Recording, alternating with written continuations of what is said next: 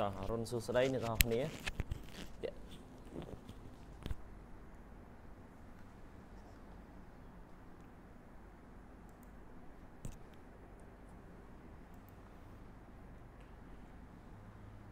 ចឹងគ្នាយើងមកសមមិញដែលធ្វើលំហាត់អឺដូចជាត្រូវបានច្រើនណាឃើញផ្ញើឲ្យគ្រូណាតែដូចលៀងច័ន្ទគ្រូតបមើលរបស់យើងមិញ ដូចជាអត់ទាន់ត្រូវទេណាអញ្ចឹងមានតែព្យាយាមធ្វើបន្តទៀតបាទហើយអ្នកផ្សេងអ្នកផ្សេងហ្នឹងភាគច្រើនគឺអាចត្រូវបានខ្លះហើយតែត្រូវបានច្រើនណាហើយយើងថ្ងៃនេះយើងបញ្ចប់មេរៀនរបស់យើងណាអញ្ចឹងមេរៀនរបស់ការកណនីទាំង3ចំណុចហ្នឹងហើយសប្តាហ៍ក្រោយយើងនឹងចូល គណនារោគកម្លាំងក្នុងគណនារោគមុំងកម្លាំងកាត់តតឹងហើយនិងកម្លាំងកែងទោះតែយើងចេះលំហាត់ដែលយើងបានរៀនពីសប្តាហ៍នឹងឲ្យច្បាស់យើងទៅលំហាត់បន្តទៀតគឺនឹងងាយស្រួលប៉ុន្តែបើសិនជាយើងនៅតែសពេចសពិលសពេចសពិលតាកតងនឹងលំហាត់ហ្នឹងក៏លំហាត់សប្តាហ៍ក្រោយហ្នឹង ឬក៏មេរៀនសប្តាហ៍ក្រោយហ្នឹងប្រហែលជាលំបាកបន្តិច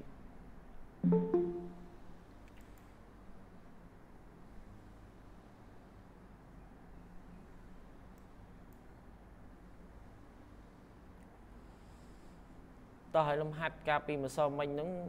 គ្នាយើងធ្វើឲ្យហើយទាំងអស់គ្នាមកណាហើយអ្នកដែលអត់ទាន់ហើយទេអឺព្យាយាមធ្វើបន្តណា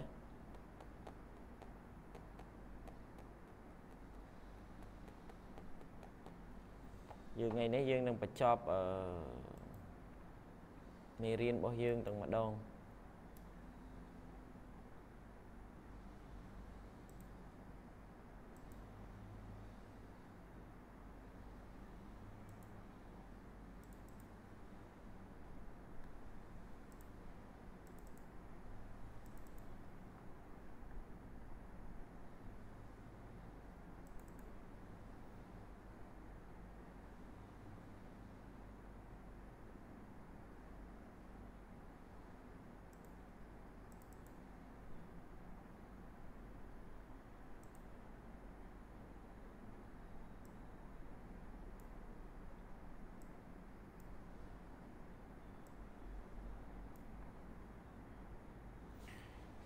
យើងមើលលំហាត់របស់យើងសាដើមវិញណាពី1ដល់6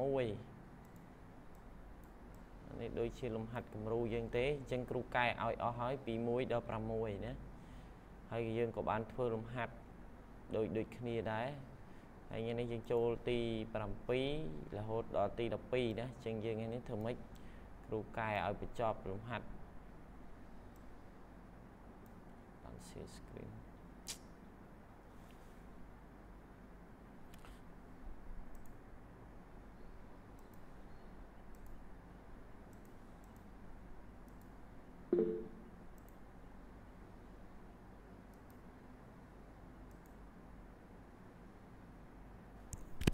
ទេគ្រូតោះសួស្តីគ្នាយើងគ្នាយើងបានលឺហ៎គ្រូនិយាយទៅលឺអត់និយាយទៅលឺឬអត់គ្នាយើង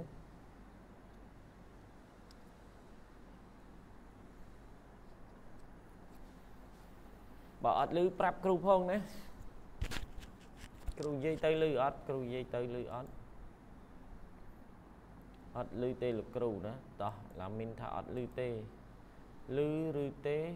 លោកគ្រូលឺឬទេលោកគ្រូអត់លឺទេលោកគ្រូគ្រូគ្រូបាទបាទបាទគ្នាយើងអឺនិយាយលឺណាប៉ុន្តែគ្រូនិយាយទៅកាន់គ្នាយើងលឺអត់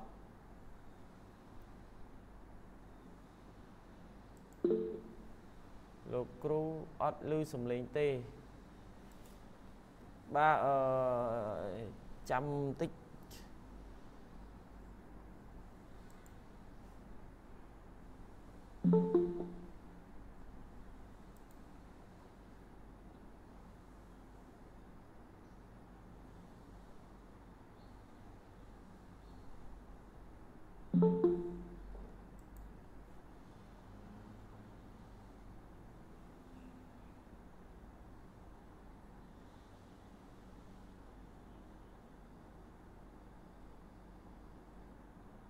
គ្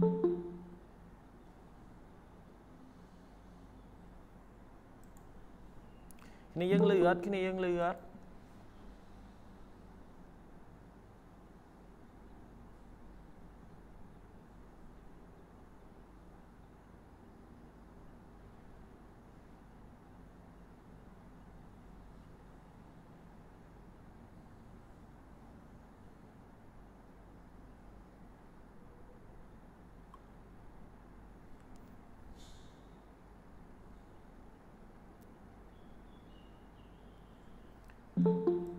សួស្តីគ្នាយើងគ្នាយើងលឺទេ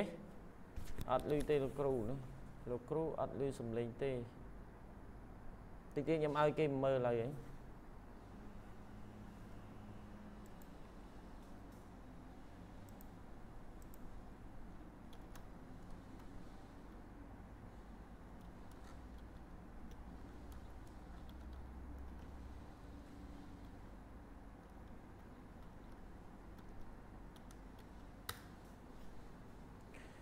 យើងលឺសំឡេងគ្រូអត់សួស្ដីគ្នាយើងលឺសំឡេងទេថាអត់លឺសំឡេងបាទគាត់ចាប់លោកគ្រូអត់បានត្រូវអត់លោកគ្រូអេថាអត់លឺ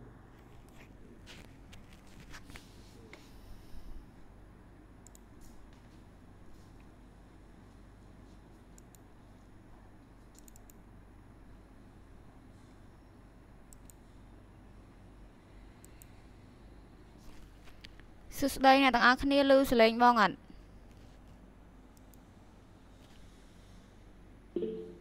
លឺលឺលឺលឺអត់ហ្នឹងហើយអញ្ចឹងឮជួយ feedback មកវិញផងព្រោះខ្លាក់ឮអត់ឮយើងទៅលោកគ្រូអត់ដឹងហើយគ្នាយើងក៏អត់ឮអត់និយាយមកលោកគ្រូវិញគ្រាន់តែទៅសេពេលខ្លះលោកគ្រូក៏អត់បានមើលអីដែរអញ្ចឹងទៅក៏អត់ឮទាំងអស់គ្នាហើយលៀងចានថានៅទៀត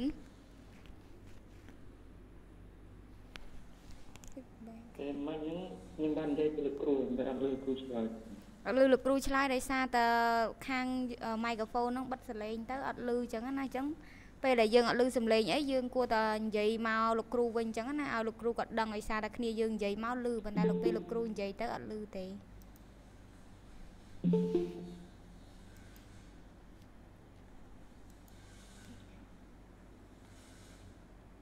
ជុំថ្ងៃនេះបាត់ច្រើនមែនឃើញតែ22ហ្នឹង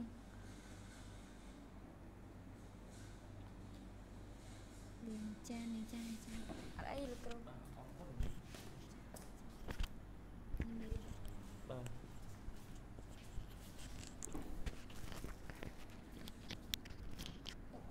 បាទ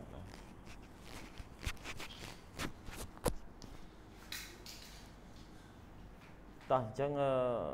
សុំទោសផងមិញដោយសារតែ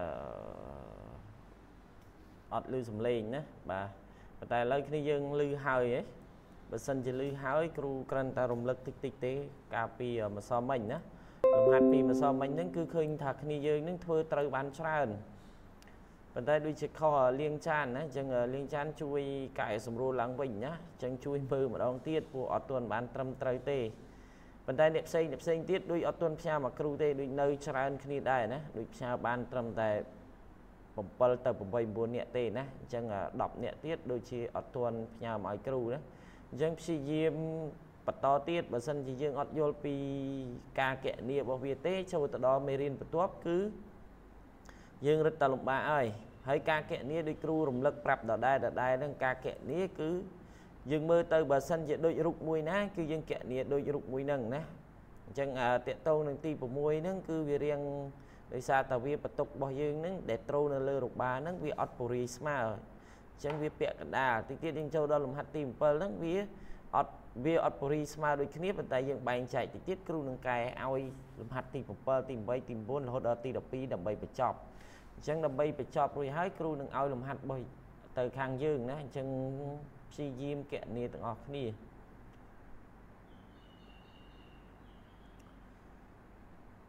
បើយើងព្យាយាមកណនីហើយបើនៅតែខុសទៀតយើងនឹងមានវិធីសាស្ត្រថ្មីទៀតណាបើ តែសំខាន់ឲ្យតែយើងបានកញ្ញាសិនណាតលំហាត់មកសមិញគឺគ្នាយើងឃើញ e a y នឹងគូមើលសិនណាបាទគ្នាយើងលំហាត់មកសមិញយើងធ្វើទៅគឺឃើញ e a y គឺស្មើ 687.1ហើយនឹង A B Y គឺស្មើនឹង836.9គីឡូញូតុនណាបើសិនជាយើងឃើញប៉ុណ្ណឹងអាចត្រូវដោយសារតែគ្នាយើងទាំងអស់ហ្នឹងគឺធ្វើឃើញប៉ុណ្ណឹងទាំងអស់គ្នា បាទហើយអ្នកដែលឃើញពីចម្លើយគ្រូដែលគ្រូហៅហ្នឹងគឺប្រកាសជាអត់ត្រូវទេអញ្ចឹងអាចខុសហើយណាអញ្ចឹងព្យាយាមមើលគុណឡើងវិញណាគុណបូកដកលេខឡើងវិញ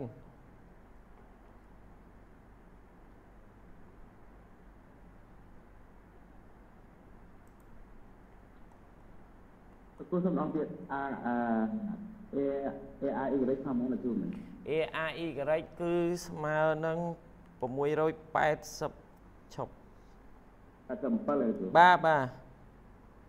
បាទគឺត្រូវតែគុណ687.1ណាបាទខ្ញុំខ្ញុំគិត3លោកគ្រូខុសតិចបាទអត់អីទេត្រូវហើយប៉ុណ្ណឹងណាបាទហើយ A B Y គឺ836ណា បាទគ្រូបាទចុច9ពួកគ្នាយើងពីចាន់គឺឃើញអញ្ចឹងណាអញ្ចឹងគឺត្រឹមត្រូវណាយើងឃើញគ្នាយើងច្រើនហើយអ្នកផ្សេងអ្នកផ្សេងទៀតដូចអត់ទាន់ឃើញផ្ញើមកគ្រូទេណាដូចជាម៉ៅចិនចិនថាណាសុភ័ក្រក៏អត់ទាន់ឃើញគ្រូដែរហ៊ុយដូចផ្ញើហើយប៉ុន្តែហ៊ុយហ៊ាមហ៊ុយដូចជាព្យាយាមធ្វើសាកដើមណាដូចជាអត់ទាន់ត្រូវទេ តើលៀងច័ន្ទណាលៀងច័ន្ទព្យាយាមសាកដើមទៀតដោយសារតែអត់ទាន់ត្រូវទេហើយលីហួងបើសិនជាចម្លើយរបស់យើងខុសពីលោកគ្រូហៅមិញហ្នឹងគឺមានន័យថាខុសហើយឡាមីនក៏ដូចគ្នាដែរអឺណៃឈួងណៃឈួងក៏ព្យាយាមធ្វើផ្ញើឲ្យគ្រូផងស្រីមុំហានីតសវណ្ណាព្យាយាមផងណាសុខហៀងលីនីតុងហួតឡៃសុកតកឡាណា តែវិសាលដូចត្រឹមត្រូវហើយណាអញ្ចឹងព្យាយាមធ្វើឲ្យផ្ញើឲ្យគ្រូណាបាទ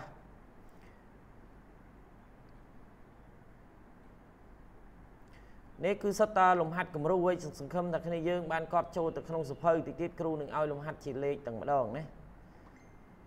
បាទតើអញ្ចឹងយើងថ្ងៃនេះយើងចូលលំហាត់ទី7ណាលំហាត់ទី7របស់យើងគឺរូបរាងដូចនៅក្នុងនេះណានេះគឺលំហាត់ទី ទី7អញ្ចឹងលំហាត់ទី7របស់យើង គឺយើងមានគួយ1ហើយនិងគួយ2ណាអញ្ចឹងមានន័យថាបន្ទុករបស់យើង គឺមាន2ចឹងចាំមើលតើគេកណនីយ៉ាងម៉េចតើចឹងគ្នាយើងអាចមើលរូបមួយផ្លេតមកហើយរូបហ្នឹងគឺវាមានបន្ទុកគួយមួយហ្នឹងគឺមានន័យថាវាពរាយស្មើប៉ុន្តែគួយ2គឺដូចលំហាត់ទី6របស់យើងអញ្ចឹងមានន័យថាបន្ទុកពង្រីមិនស្មើទេ ប៉ុន្តែក្នុងការកណនីរបស់យើងគឺយើងធ្វើគួយមួយយើងកណនីរកគួយមួយគួយ2តែរួចចាំយើងបូកចូលគ្នាមកលំដាប់នៃការគណនារបស់យើងគឺដូចរូបលេខ5ហើយនឹងលេខ6ណាបាទឃើញតុកឡាបានផ្ញើមកឲ្យខ្ញុំហើយណាបាទអញ្ចឹងតុកឡាគឺត្រឹមត្រូវហើយ687 ហើយនឹង836ណាបាទអរគុណណាតើអញ្ចឹងគ្នាយើងអាចចាប់ផ្ដើមបាននេះតកតងទៅនឹងលំហាត់ទី7ណាលំហាត់ទី7គឺយើងព្យាយាមមើលបន្តិចតកតងនឹងគួយមួយគឺមានន័យថាបន្ទុករបស់វាគឺពង្រីស្មើប៉ុន្តែតកតងនឹងគួយ2គឺបន្ទុករបស់វាគឺមិនពង្រីស្មើទេ គឺវាដូច គួយមួយដូចលំហាត់ទី5ទី5គួយ2គឺដូចលំហាត់ទី6អញ្ចឹងគេមិនបញ្ចូលគ្នាអញ្ចឹងបើសិនជារូបរាងបែបនេះគឺយើងត្រូវ follow ទៅតាមរូបមន្តបែបនេះដែលលោកគ្រូបានដោះស្រាយឲ្យយើងណាតែតិចទៀតគ្រូនឹងដាក់លំហាត់ឲ្យយើងមួយទៀតហើយឲ្យយើងរៀនកណៀបតែមុននឹងដាក់លំហាត់ហ្នឹងគឺគ្រូអាចបញ្យល់គ្នាយើងសិនណាគឺតាក់តងទៅនឹង បាទអញ្ចឹងគឺតាក់តងទៅនឹងលំហាត់ឬក៏អត្រាកំណែរបស់យើងណានៅលំហាត់ទី7ហើយសង្ឃឹមថាគ្នាយើងនឹងបានកត់ទុកវាផងបាទតោះអញ្ចឹងគ្នាយើងគ្រូអាចចាប់ផ្ដើមពយល់តកតងទៅនឹងកំណែលំហាត់ទី7បានហើយនៅបាទអញ្ចឹងបើសិនជាបានហើយតោះបានហើយអញ្ចឹងគ្រូកែណាអញ្ចឹងយើងមើលលំហាត់ទី7របស់យើងទាំងម្ដងមក ហើយយើងអាចអង្គុយមើលឬក៏កត់វាសិនមកក៏បានដែរណាហើយបើសិនជាគ្នាយើងកត់អត់ទាន់រួចទេចាំប្រាប់គ្រូផង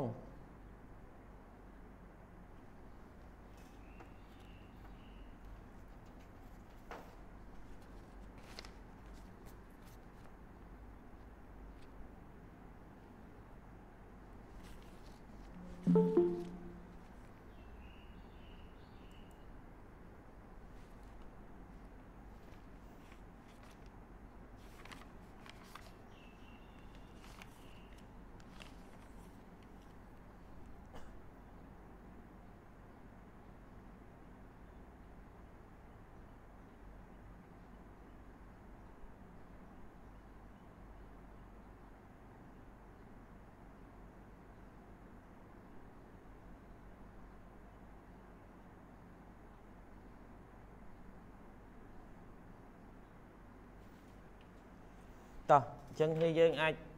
ចាប់ដើមបានគ្រូកែលំហាត់ទី7ឲ្យណាតោះឧទាហរណ៍ណា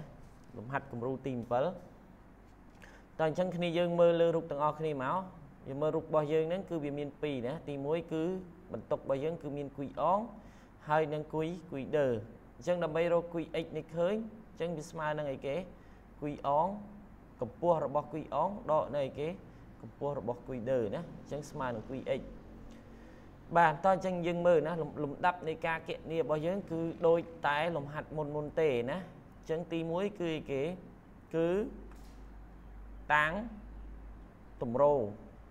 អញ្ចឹងតម្រូរបស់យើងយើងដឹងហើយថាយើងមើលតម្រូទី1គឺជាប្រភេទ pin support អញ្ចឹងបើសិនជា pin support មានន័យថាប្រតិកម្មរបស់តម្រូគឺមានពីរទិសណាតាមទិសដេកហើយនឹងតាមទិសឈរហើយយើងមើលតម្រូផ្នែកខាងចុងរបស់យើងគឺ ប្រភេទ ruler អញ្ចឹងបើដឹងថាជាប្រភេទ ruler ហើយចឹងមានន័យថាប្រតិកម្មតម្រូវរបស់យើងគឺមានតែមួយទិសទេអញ្ចឹងគឺតាមទិសទិសឈរបាទអញ្ចឹងខ្ញុំតាំងដោយគេ EAX គឺប្រតិកម្មតម្រូវតាមទិសដេកហើយនឹង ARY គឺប្រតិកម្មតាមទិសឈរបាទ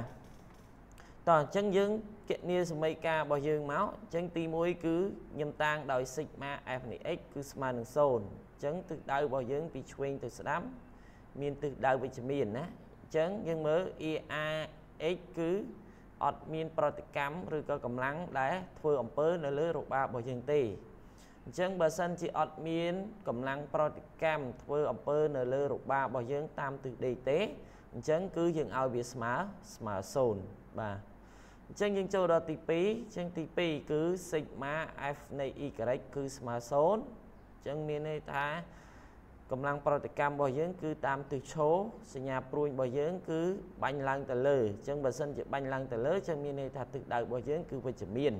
អញ្ចឹងយើងនាំឲ្យយើងមើលសញ្ញាព្រួយរបស់ ARY និង ABY គឺសុទ្ធតែមានទិសដៅទៅខាងលើអញ្ចឹងមានន័យថាសញ្ញានៅពីមុខវាគឺសញ្ញាវិជ្ជមានអញ្ចឹងខ្ញុំសរសេរបាន ARY បូកនឹង ABY បាទ បន្ទាប់មកយើងមើលណាយើងមើលទី1គឺគុយ1អញ្ចឹងយើងមើលគុយ1គឺសញ្ញាព្រួយរបស់យើងគឺចុះក្រោមអញ្ចឹងបើសិនជាចុះក្រោមមានន័យថាទិសដៅរបស់វាគឺអវិជ្ជមានអញ្ចឹងបើសិនជាទិសដៅរបស់វាអវិជ្ជមានអញ្ចឹងយើងត្រូវប្រើសញ្ញាឯគេបាទអញ្ចឹងគឺសញ្ញាដកបាទដោយសារតែរូបរបស់យើងហ្នឹងគឺពង្រីស្មើអញ្ចឹងរូបពង្រីស្មើដូចលំហាត់ទី5អញ្ចឹងគឺស្មើនឹងគុយ1 គុណនឹងប្រវែងរបស់វាណាអញ្ចឹងប្រវែងរបស់វាគឺអីគេគឺ L បាទអញ្ចឹងបន្ទាប់មកគឺដក1នៅលើ2អញ្ចឹង1នៅលើ2ដោយសារតែគុយ2របស់យើងគឺបន្ទុករបស់យើងគឺជាបន្ទុករៀងត្រីត្រីកោណអញ្ចឹងមានន័យថាពាក់កណ្ដាលវាអត់មានពង្រីស្មើទេអញ្ចឹងគឺត្រូវដក1លើ2ហើយគុណនឹងគុយគុយ x អញ្ចឹងមានន័យថាអាកន្លែងគុយនេះគឺគុយ x ណា បាទហើយគុណនឹងប្រវែងដៃខ្នើរបស់វាគឺប្រវែងដៃខ្នើរបស់វាគឺដូចគ្នាណាអញ្ចឹងគឺស្មើនឹងនឹង L បាទអញ្ចឹងមានន័យថាបើគុយ2របស់យើងគឺមានន័យថាចាប់ពីអាគល់តម្រូនេះទៅ ទៅដល់ចុងខាងនេះចុងបន្ទុកខាងនេះអញ្ចឹងមានន័យថាដើមបន្ទុកដល់នេះគឺមានន័យថាគុយគុយដឺប៉ុន្តែបើសិនជាគុយ x គឺចាប់ពីចំណុចនេះទៅ ទៅខាងលើអាហ្នឹងយើងតាំងដោយគុយ x ណាអញ្ចឹងគឺស្មើនឹងអីគេស្មើនឹង1លើ2គុយ x គុណនឹងប្រវែង l បាទអញ្ចឹងវាដូចរូបអីគេរូបទីទី6របស់យើងណាអញ្ចឹងទី6របស់យើងនេះអញ្ចឹងគឺស្មើនឹងប្រវែងរបស់យើងនេះគឺប្រវែងគុយហើយគុណនឹង l ហើយចែកនឹង1លើហើយគុណនឹង1លើ2ចានេះគឺដូចគ្នាណាដោយសារវាដូចគ្នាអញ្ចឹងមានស្មើនឹងអីគេ1លើ2ខ្ញុំគុណនឹងគុយលើ x ទាំងម្ដងហើយគុណនឹងប្រវែងដៃក្នុងរបស់វាទាំងម្ដងហើយស្មើនឹង0 អញ្ចឹងខ្ញុំនាំឲ្យ EAY បូកនឹង EBY ស្មើនឹងអញ្ចឹងកន្លែងនេះដោយសារតែគេវាមាន L ដូចគ្នាអញ្ចឹងខ្ញុំទាញ L ជាកតាអញ្ចឹង L កតាឲ្យអញ្ចឹងខាងនោះទាញ L ហើយនៅសល់គួយ1ហើយខាងនេះគ្រូទាញ L ហើយគឺនៅសល់អីគេនៅសល់គួយគួយ x នៅលើនៅលើ2ណាបាទអញ្ចឹងខាងនេះ L ណាអញ្ចឹងវាស្មើនឹងគួយ x L នៅលើ2 តែគ្រូទាញ L ជាកតានៅសល់គួយ1បូកនៅអីគេបូកនឹងគួយ x នៅលើ2ដោយសារមូលហេតុអីកន្លែងនេះគឺបូកដោយសារតែយើងបោះអង្គវាមកខាងនេះទាំងអស់មកគឺវាមានសញ្ញាវិជ្ជមានវិញដោយសារនៅអង្គទី1វាមានសញ្ញាអវិជ្ជមាននៅពេលដែលយើងបោះមកអង្គទី2គឺវាមានសញ្ញាវិជ្ជវិជ្ជមានបាទហ្នឹងគឺអីគេគឺខ្ញុំតាំងដោយសមីការមួយ ចឹងគ្នាយើងប៉ុណ្ណេះណាចឹងគ្នាយើងយកបានទេគ្រូនិយាយតែមួយកំណាត់នេះសិនណាតាកតងទៅនឹងសិក្មា S នៃ Y ប្រតិកម្មតាមទិសឈរចឹងគ្នាយើងយកបានទេប៉ុណ្ណឹងណាសម្រាប់ប្រតិកម្មតាមទិសឈរបាទចឹងបើសិនជាយើងយល់ហើយគ្រូទៅអីគេទៅរកប្រតិកម្មតាមអីគេកម្លាំងមុំមម្ដងមួយទៀតណាបាទ អញ្ចឹងយើងមើលតទៀតមកគឺយើងរកមុំមម្ដងអញ្ចឹងមុំមរបស់យើងគឺចំតាំងដោយ sigma MA ស្មើនឹង0អញ្ចឹងទិសដៅរបស់យើងគឺស្របនឹងតនិចនាឡិកាអញ្ចឹងមានទិសដៅវិជ្ជមានអញ្ចឹងនាំឲ្យយើងមើលនេះអញ្ចឹងមានន័យថាកន្លែងនេះសញ្ញាព្រួញឡើងលើគឺខ្ញុំតាំងវាដោយទិសដៅស្របជាមួយនឹងតនិចនាឡិកាអញ្ចឹងបើសិនជាសញ្ញាព្រួញឡើងលើទិសដៅស្របនឹងតនិចនាឡិកាអញ្ចឹងមានន័យថាវាមាន ទិសដៅវិជ្ជមានអញ្ចឹងបើសិនជាមានទិសដៅវិជ្ជមានគឺមានសញ្ញាបូកអញ្ចឹងយើងមើល EB របស់យើង EBY អញ្ចឹងគុណនឹងប្រវែងដៃខ្នើរបស់យើងគឺប្រវែង L អញ្ចឹង EB គុណនឹង L បាទនឹងអស់ហើយហើយទី1ទៀតគឺដកអញ្ចឹងយើងមើលគួយគួយ1អញ្ចឹងគួយ1គឺ កម្លាំងប្រតិកម្មរបស់យើងឬក៏ឯគេសញ្ញាព្រួយរបស់យើងគឺចុះក្រោមអញ្ចឹងខ្ញុំគិតថាឲ្យទៅចុះក្រោមគឺផ្ទុយពីត្រនិចនាឡិកាអញ្ចឹងបើសិនជាផ្ទុយពីត្រនិចនាឡិកាអញ្ចឹងមានន័យថាទិសដៅរបស់វាគឺអវិជ្ជមានអញ្ចឹងខ្ញុំដាក់ដកគួយ1ហើយគុណនឹងប្រវែងដៃខ្នោះរបស់វាគឺគុណនឹងប្រវែង L របស់វាណាអញ្ចឹងគឺគុណនឹង L បន្ទាប់មកគឺគុណនឹងដោយសារតែវានៅចំពាក់កណ្ដាលណា បាទអញ្ចឹងវាគឺបរិស្មើហើយនៅចំពាក្យកដាគឺខ្ញុំគុណនឹងប្រវែង L ចែកនឹង2បាទអញ្ចឹងគឺគុណប្រវែង L ចែកនឹង2នេះគឺស្មើនឹងមកកញ្ចប់នេះគឺសម្រាប់អីគេសម្រាប់គួយគួយ1ប៉ុណ្ណឹងណាតោះអញ្ចឹងចិត្តតាកតងទៅនឹងគួយ x វិញអញ្ចឹងគួយ x ណាអញ្ចឹងស្មើនឹងដកអញ្ចឹងកន្លែងនេះគឺដក1លើ2ណាពាក់កណ្ដាលដក1លើ2គុណនឹងគួយ x ហើយគុណនឹង2លើលើ3នេះ ចឹងប្រវែងនេះចឹងមានន័យថាកម្លាំងប្រតិកម្មនៅត្រង់ចំណុចកណ្ដាលនេះគឺប្រវែងរបស់វាពីពីតម្រូវ A នេះរហូតមកដល់កន្លែងដែលវាមានចំពាក់កណ្ដាលហ្នឹងគឺយើងតាំងដោយ2លើ3 3L ហើយយើងគុណនឹងប្រវែង L ទាំងទាំងមូលបាទអញ្ចឹងស្មើនឹង0អញ្ចឹងកន្លែងនេះគឺខ្ញុំទាញបាន A B Y ស្មើនឹងគួយ1 L ការ៉េនៅលើ2នេះម្ដុំនេះណា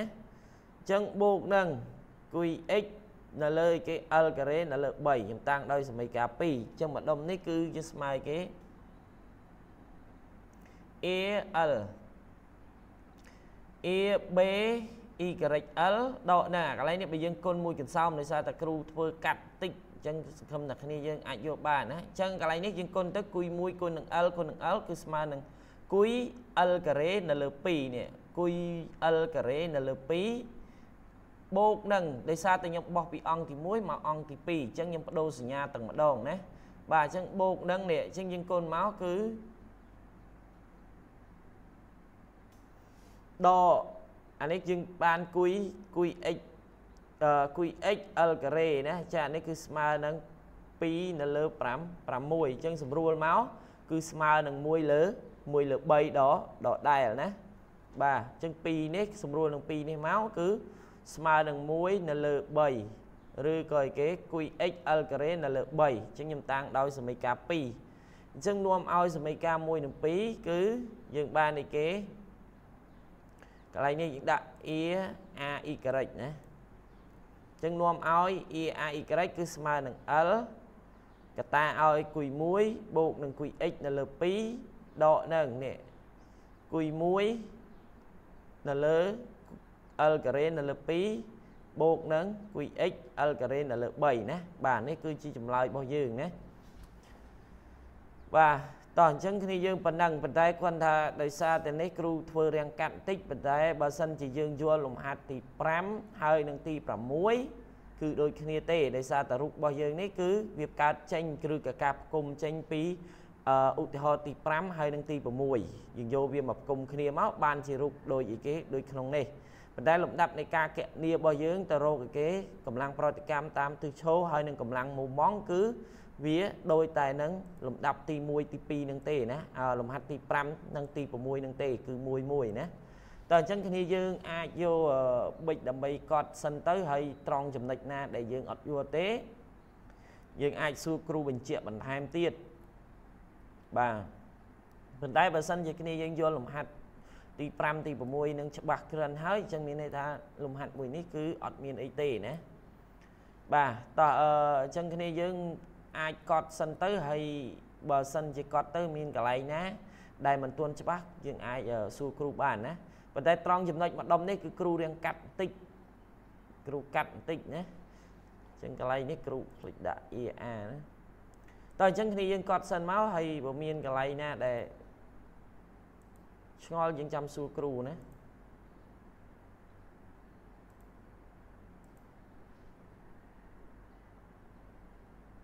លោកគ្រូអារម្មណ៍សំអញតិនរុំបាទរំហាត់សំអញតិនធ្វើរួចលំហាត់សំអញធ្វើអត់ទាន់ហើយទេធ្វើខុសលោកគ្រូធ្វើខុសឲ្យព្យាយាមធ្វើមកគ្រូកែព្រោះយើងនៅច្រើនទៀតណា មេរៀនយើងនៅលឹងច្រើនអញ្ចឹង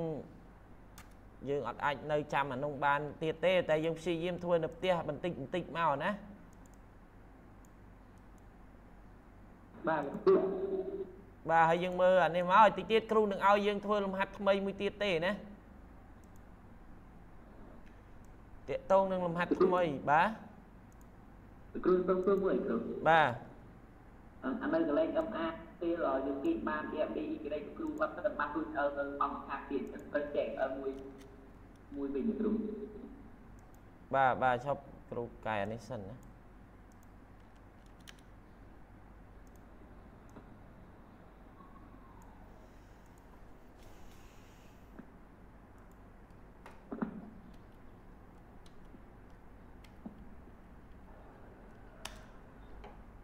តោះអញ្ចឹងត្រង់ចំណុចណា ត្រង់អីអត់មកវាមាន A B E ក្រេគុណអើបាទដល់ពេលយើងរួចអាអស់អាពីអស់ទៅក្នុងយើងត្រូវវិញអើទៅម្ដងទៀតគេមានអត់ទៅចែកទៅមកទៅអើវាមានអើក្រេត្រង់ចំណុចនេះណាបាទព្រោះព្រោះយើងអាក្នុងមាន A B គុណអើបាទ A B គុណនឹង L ដកនឹងគុយ L ការ៉េនៅលើ2ណាបូកនឹងគុយ x l ការ៉េនៅលើ3អាកន្លែងនេះយើងយល់បានហើយមកកដុំនេះណាយល់ហើយ បាទអញ្ចឹងយើងយល់ហើយណាអញ្ចឹងមានន័យថានៅទាញនេះជាប់នឹងអាញាត់ L ណាបាទបាទអញ្ចឹងតួទាញជាប់អាញាត់ L ទៅអញ្ចឹងយើងត្រូវចែកនឹង L ទាំងអស់បាទបាទនៅពេលដែលយើងចែក L ទាំងអស់ទៅគឺយើងនៅសល់អីគេយើងនៅសល់តែគុយ L គុយ 1L នៅលើ2បូកនឹងគុយ x នៅលើ3ណាបាទបាទបាទបាទហ្នឹងហើយចឹងគ្រូដាក់ទាញមកខាងនេះណា គ្រូភ្លេចទាញមកបាទអញ្ចឹងគឺត្រូវហើយណាគ្រូទាញ L មួយទៀតមកគ្រូដាក់ចែកនឹង L ណាអញ្ចឹងកន្លែងនេះត្រូវនៅសល់ L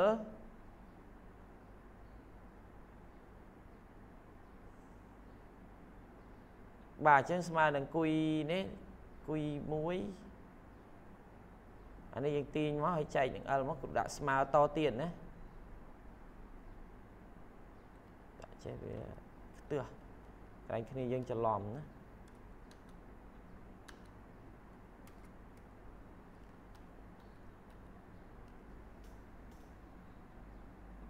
តោះអញ្ចឹងគឺត្រូវហើយសាគ្រូផ្លេចទិញ L មួយទៀតណា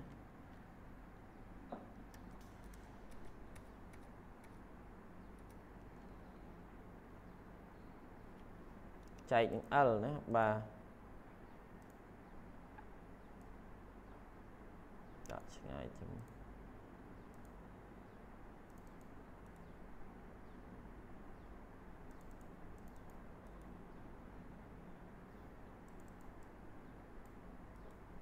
លោកគ្រូត្រង់ AHB ហ្នឹងអឺគួយមួយដែរទេលោកគ្រូបាទត្រង់ AHB បាទមួយទៅមួយទៀតមែនលោកគ្រូ បាទហ្នឹងត្រូវចែកចង់និយាយថាមកកន្សោមរបស់យើងនេះគឺកន្សោមទាំង3ហ្នឹងគឺចែកដល់កន្សោមទាំង2ហ្នឹងគឺចែកណាគឺចែកទាំង L ទាំងអស់ណាយល់ទេអញ្ចឹងគ្រូដាក់វងកញ្ចក់ចេះទៅណាអញ្ចឹងមានន័យថាមកកន្សោមនេះគឺត្រូវចែកនឹង L ទាំងអស់យកបាននៅប៉ុណ្ណឹងយកបានលោកគ្រូបាទអញ្ចឹងគ្រូស្រួលបន្តិចសិនហើយគ្នាយើងកត់បដាបដាសិនណា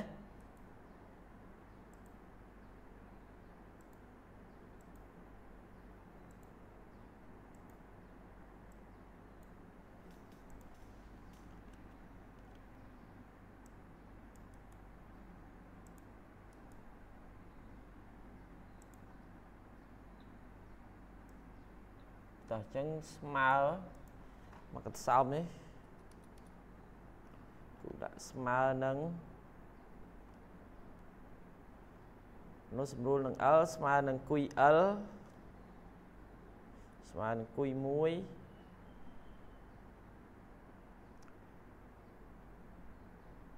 គុយ1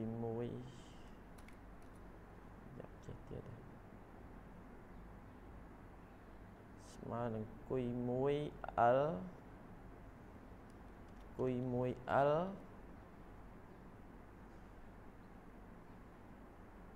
នៅលើ2វោកនឹង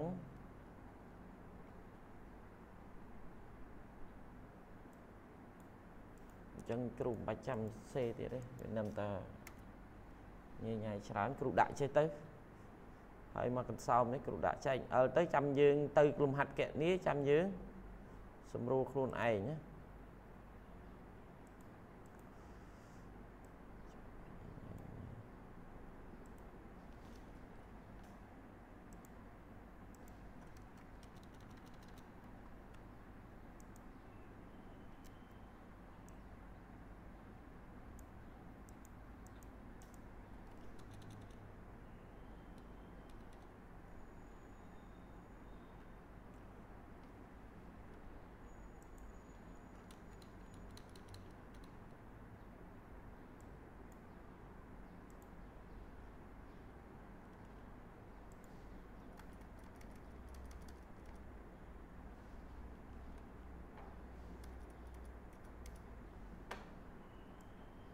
នាំ ឲ្យ ER ស្មើនឹង L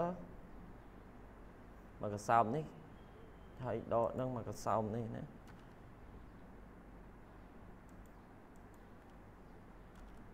ចែកនឹង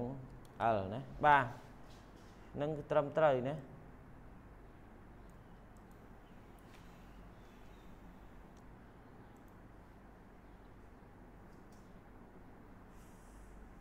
ចាអាកន្សោមនេះយើងត្រូវចែកនឹង L ប៉ុន្តែនៅពេលដែលយើងធ្វើមែនទែនយើងសម្រួលវាទៅណាចាអានេះគឺស្មើគុយ L នៅលើ2អានេះគឺស្មើគុយ x L នៅលើនៅលើ3ហើយអត់មាន L នឹងទៀតទេប៉ុន្តែនេះគ្រូអត់ទាន់សម្រួលគ្រូទុកអញ្ចឹងទៅណាបាទ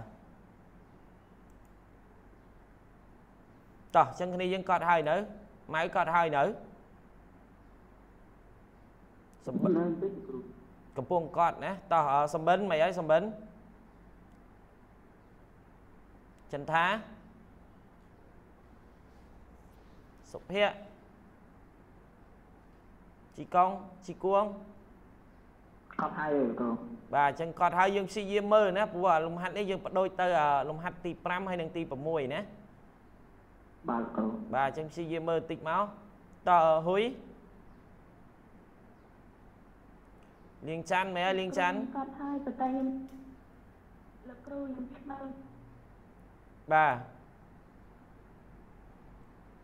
ដល់កន្លែង sigma f y អាកន្លះដាក់ពីគួយអ៊ីលោកគ្រូគួយ x ហ្នឹងគេនេះអញ្ចឹងមានន័យថាកន្លែងគួយ x ហ្នឹងគឺនេះចាប់ពីអាកន្លែងចុងរបស់យើងនេះអញ្ចឹងមានន័យថាគួយមួយគឺមានន័យថាបរិស្មើនេះទៅតាមសញ្ញាព្រួញចុចចុចចុចចុចហើយបន្ទាប់មកគួយ x នេះគឺជាតម្លៃនេះអញ្ចឹងគួយ x គឺ អាពីអាកន្លែងចុចចុចហ្នឹងទៅផ្នែកខាងខាងលើ ខាងចុងខាងលើណាអានេះយើងតាំងដោយគួយគួយ x អញ្ចឹងបើសិនជាគួយ2អញ្ចឹងគួយ2គឺចាប់ពីអីគេ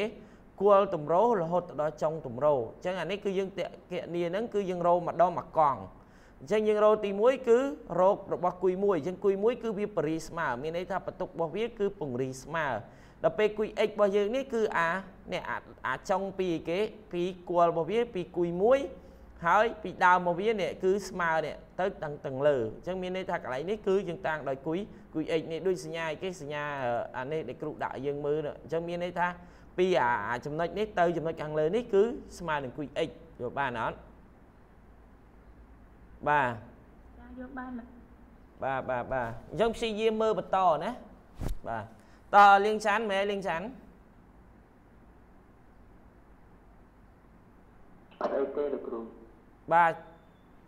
អត់អីទេណាតែលំហាត់ដែលផ្ញើឲ្យគ្រូហ្នឹងគឺអត់ត្រឹមត្រឹមត្រូវទេណាអញ្ចឹងព្យាយាមធ្វើបន្តបាទលោកគ្រូបាទតើឆៃឡតបាទលោកគ្រូបាទមិនឲ្យយល់ដាក់បានខ្លះហេតិចតែលោកគ្រូបាទណាអញ្ចឹងព្យាយាមមើលបន្តទៀតតែសំខាន់ឲ្យតែបានកត់ខ្លះណាកត់ចូលទៅហើយយើងຕົកមើលវាណាបាទតើលីហួងបាទ លោកគ្រូបាទមិនដែរហើយលំហាត់ហ្នឹងយល់បានខ្លះខ្លះលោកគ្រូបាទបាទតើលោកមានបាទលោកគ្រូមិនដែរយកបានខ្លះទេអត់ទៅយល់ទេលោកគ្រូ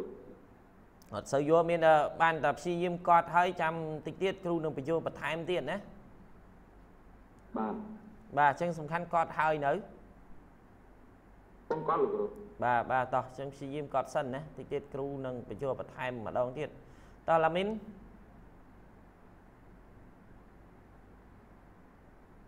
តោះណៃឆុងណៃឈួងណា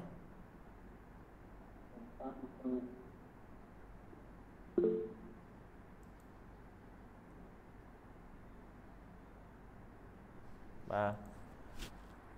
តើសំអឿនសំអឿនមែនសំអឿន បាទលោកគ្រូមិនឲ្យព្យាយាមបន្តយល់ទៀតណាព្រោះអានេះយើងតាក់ទងទៅនឹងរូបរបស់យើងយើងបែងចែកជាពីរណាបាទគ្រូបាទប៉ុន្តែបើសិនជាគ្នាយើងឲ្យតែយើងឃើញរូបដូចនេះគឺយើងយកតែឲ្យគេយកតែតម្រងនេះមានន័យថាយកគំរូទាំងអស់នេះយកមកធ្វើមកប៉ុន្តែយើងគ្រាន់តែដូរពីប្រវែងទេយល់ទេឧទាហរណ៍ប្រវែង L របស់យើងនេះគេដាក់បាន3ម៉ែត្រគឺយើងដាក់មកជួសកន្លែងនេះគឺ3ម៉ែត្រអញ្ចឹងឧទាហរណ៍ QX ចឹងមានន័យ QX ហ្នឹងគឺបន្ទុកកន្លែងនេះ បន្ទុកកន្លែងចុងនេះអញ្ចឹងគេនឹងប្រាប់ឲ្យគុយមួយហ្នឹងគឺបន្ទុកនៅកន្លែងនេះអញ្ចឹងគេនឹងប្រាប់ទេអញ្ចឹងគ្រាន់តែដូរពីអក្សរហ្នឹងទៅដាក់លេខហើយគុណយកធម្មតាទៅណាអញ្ចឹងគឺដូចគ្នាទេ តែសំខាន់គឺអានេះគ្រាន់តែជាបើយើងនិយាយទៅជាគំរូសម្រាប់ឲ្យយើងធ្វើការកណនីទាំងជួសតែលេខចូលនឹងឯងណាដូចជារូបមន្តនិយាយតែអាហ្នឹងគឺដូចជារូបមន្តណាយើងនិយាយងាយស្រួលក្នុងការស្ដាប់គឺដូចរូបមន្តនៅពេលដែលមានលំហាត់ ឬក៏លេខយើងគ្រាន់តែជួសពី L ដាក់ប្រវែងហ្នឹងមកគួយហ្នឹងគឺគេបន្ទុកវាមកយើងជួសតែលេខចូលទៅគឺយើងបូកដកកណនីហ្នឹងគឺដូចដូចគ្នាទេគឺដូចដូចតែលំហាត់មុនមុនទេណាឲ្យតែយើងឃើញរូបដោយអឺលំហាត់ឧទាហរណ៍នេះឬក៏ដូចជាគេរូបមន្តទាំងអស់នេះគឺយើងធ្វើទៅតាមនឹងឯងណាបាទតើស្រីមុំតើ សវណ្ណាសវណ្ណាយ៉ាងម៉េចហើយសវណ្ណាចាលោកគ្រូកំពុងបកតបាទចាំព្យាយាមកត់ឲ្យព្យាយាមយកផងណាតើផានិតចាលោកគ្រូយ៉ាងម៉េចហើយអត់អីទេលោកគ្រូបាទអញ្ចឹងសំខាន់ឲ្យតើបានព្យាយាមកត់ឲ្យមើលផងណាបាទតើសុកហៀង លោកគ្រូអត់ទៅយកអង្គ sigma ma ចុកហ្នឹងហើយអញ្ចឹងអត់ទាន់យល់ពី sigma ma ណាអញ្ចឹងយើងកត់ហើយនៅបើកត់ហើយទាំងអស់គ្នាចាំគ្រូបញ្យល់ម្ដងទៀតតែយើងកត់ឲ្យបានសិនណា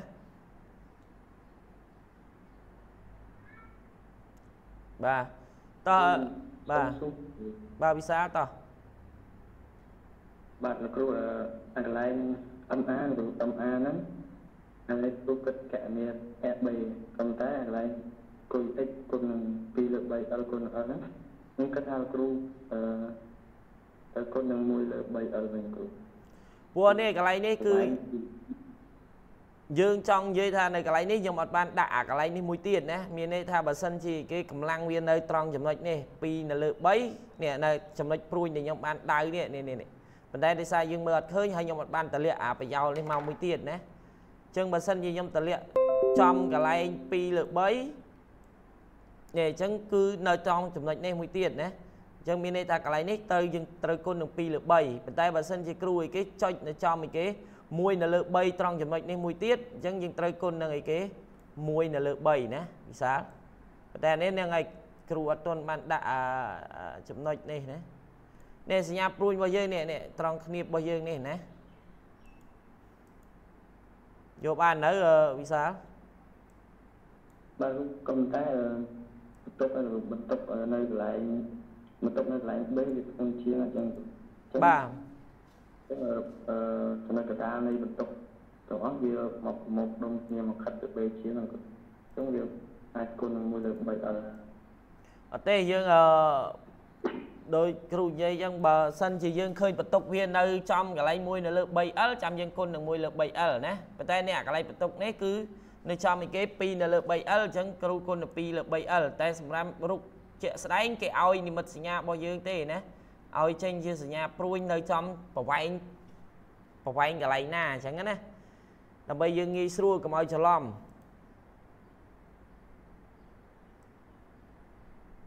បាទអញ្ចឹងអាហ្នឹងគេកំណត់ឲ្យយើងមែនបាទបាទបាទ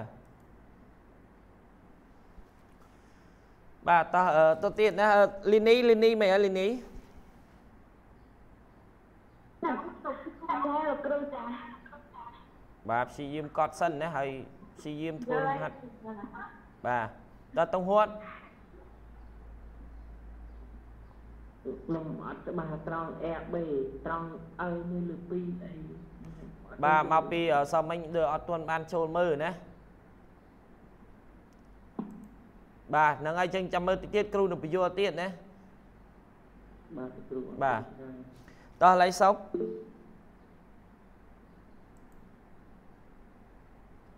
គាត់ឲ្យលោកគ្រូទាន់បានសួរណាថាសួរតាយល់ហើយនៅបាទតើទឹកឡា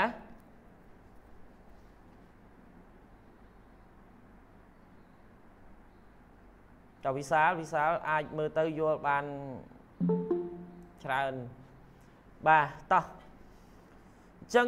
តកតងទៅនឹងលំហាត់នេះបើសិនជាគ្រូនិយាយឲ្យសាមញ្ញហើយងាយស្រួលក្នុងការស្ដាប់ហើយឲ្យយើងងាយយល់ទាំងអស់គ្នាណាអញ្ចឹងយើងលំហាត់មួយនេះគឺបើសិនជាឃើញរូបដូចរូបមួយដូចលំហាត់ឧទាហរណ៍ទី7នេះអញ្ចឹងគឺយើងត្រូវកណនីទៅតាមក្បួន នេះទាំងអស់អញ្ចឹងយើងគ្រាន់តែជំនួសពីគុយ1តើគុយ1នៅត្រង់ចំណុចណាគុយ x របស់យើងគឺនៅត្រង់ចំណុចណាហើយ l របស់យើងគឺប្រវែងប្រមាណយើងគ្រាន់តែជួតែលេខចូលមកគឺយើងអាចកណនីបានហើយតែប៉ុណ្្នឹងទេហើយលំដាប់នៃការបូកដកគុណលេខអីអានឹងយើងអាចផ្លាស់ប្ដូរសញ្ញាអីគឺទៅតាមអ្វីដែលយើងកំណត់ឧទាហរណ៍តែយើងចង់ថាសញ្ញាព្រួយឡើងលើវា វិជ្ជមានឬអវិជ្ជមានគឺស្រេចតែយើងនៅពេលដែលយើងកំណត់មួយណាមួយណាក៏បានដែរនៅពេលដែលយើងទីសញ្ញាទៅអង្គទី1អង្គទី2វិញគឺនិមិត្តសញ្ញារបស់វាគឺនឹងប្រែប្រួលហើយដូចតែគ្នាទេតកតងទៅនឹងនិមិត្តសញ្ញាណាបាទ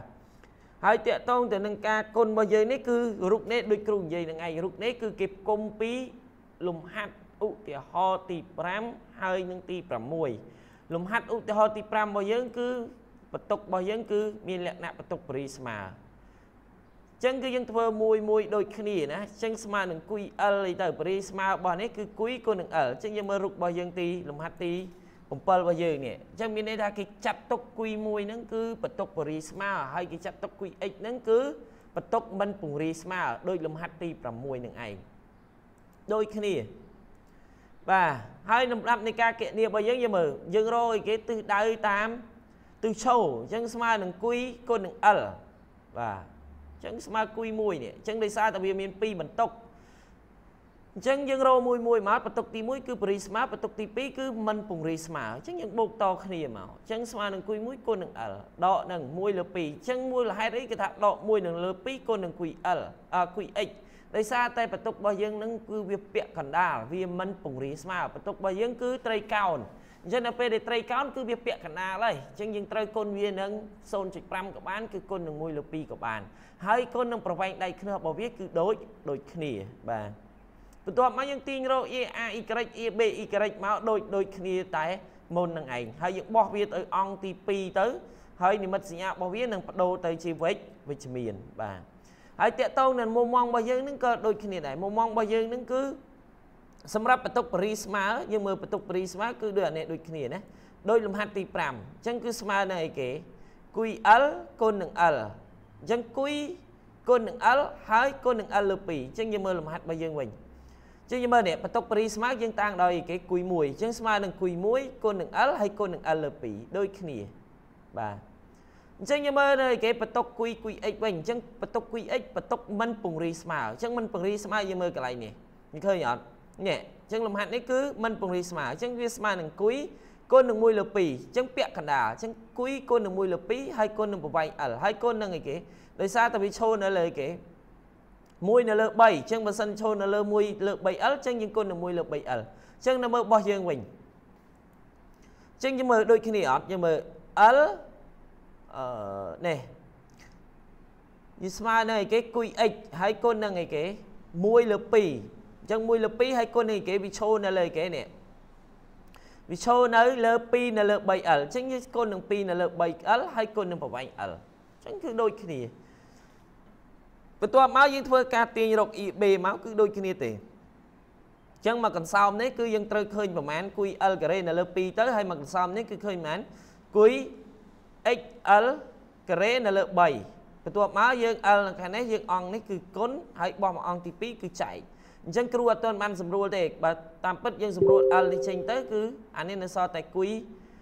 គុយ L នៅលើ2បូកនឹងគុយ XL នៅលើ3ហើយ L ខាងក្រោមនេះអត់មានទេប៉ុន្តែនៅពេលដែលលំហាត់យើងអាចសម្រួលខ្លួនឯងគុណចែកខ្លួនឯងណាអញ្ចឹងនាំឲ្យ1និង2យើងគ្រាន់តែយកអីគេសមីការ1របស់យើងនឹងមកដកនឹងអីគេសមីការ2មកមូលហេតុអីបានឃើញអីគេសញ្ញាដកនៅត្រង់នេះព្រោះនេះ a b y នៅអង្គទី1មានសញ្ញាវិជ្ជមាននៅពេលដែលយើងបោះទៅអង្គទី2ចឹងមានសញ្ញាអវិជ្ជអវិជ្ជមានអញ្ចឹងតែប៉ុណ្្នឹងទេបាទដល់អញ្ចឹងគ្នាយើងមើលទៅអាចយល់បានទេប៉ុណ្ណឹងណាប៉ុន្តែព្យាយាមមើលដដែលដដែលទៅហើយអាចយល់បានខ្លះហើយណាបាទតោះអញ្ចឹងគ្នាយើងកត់រួចទាំងអស់គ្នាហើយឬនៅ រួចហើយគ្រូបាទហើយយើងកត់រួចហើយយើងមើលទៅយើងអាចយល់បានខ្លះហេ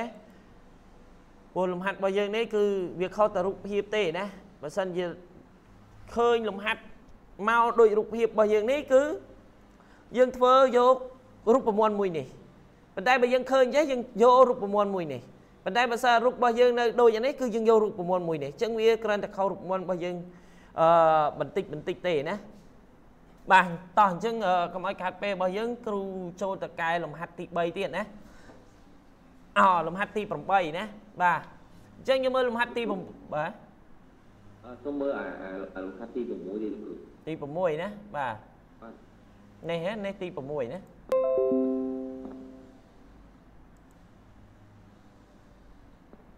អីគ្រូបាទតតទៀតបាទបាទ តោះអញ្ចឹងលំហាត់ទី7ហ្នឹងគឺប៉ុណ្ណឹងណាបាទតោះអញ្ចឹងយើងចូលដល់លំហាត់ទី8តោះយើងមើលលំហាត់ទី8របស់យើងណាគ្រូសួរសិនតោះលំហាត់ទី8តាកតងទៅនឹងអឺតោះឆៃឡតណាឆៃឡតយើងមើលលំហាត់ទី8មានអីខុសពីលំហាត់ទី1រហូតដល់ទី7ហ៎មានអីខុសគ្នាទេខុសគ្រូបាទអញ្ចឹងខុសត្រង់ចំណុចណា ខត្រង់ចំណុចអឺទឹកវាវា